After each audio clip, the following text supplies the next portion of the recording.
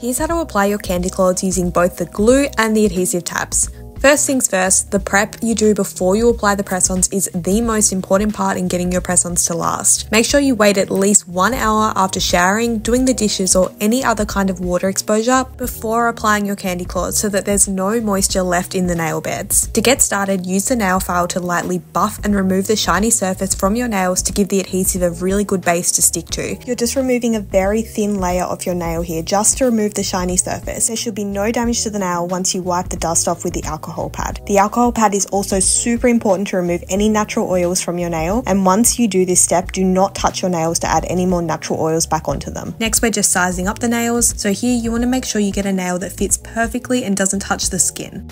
You can always file them back to make them fit into the edges of your nails. First, we'll do the glue application. If you want to use tabs, skip to the timestamp above. Start by putting a small dot of glue and spread it around the entire nail. Wait about 10 seconds for the glue to get tacky and then put a little bit of glue onto the press on as well wait for the glue to get tacky, and then press and hold at a 45 degree angle. The waiting until the glue gets tacky is really important so that you can use enough glue without there being overflow. Use firm swiping motions to remove any air bubbles that may create an inconsistent hold. Repeat this step for every single finger, doing your thumbs and index fingers last. Avoid water for at least one hour after application so that the glue can set. For any less than one week of wear time, we recommend using the adhesive tabs. First, I will go ahead and re-wipe my nails in case I touch them at any point during the other hand's application, and then I will choose the correctly sized adhesive tab. This is very important. The tab needs to cover the entire surface of the nail to create a really firm grip for the press on. Use your finger and or the flat side of the cuticle stick to wipe down on the adhesive tab to make sure it's really stuck onto your nail. This will also remove any air bubbles. As you can see, I'm pressing very firmly here just to make sure that that tab is stuck well onto the nail. Next, I will go ahead and grab some tweezers. This is really helpful for the next step. As you can see, it just makes peeling off the protective film very easy. Then just grabbing the correctly sized nail and then pressing and holding very firmly. This is really important to create that strong hold. You want the press on to grip very strongly to the adhesive. Just using some wiping motions here to make sure that there's no air bubbles. Then simply repeat on all of your other fingers. The adhesive tabs are a great option for beginners and they're very good for special events or less than one week of wear. For a very strong hold, you could put a little dot of glue on top of each adhesive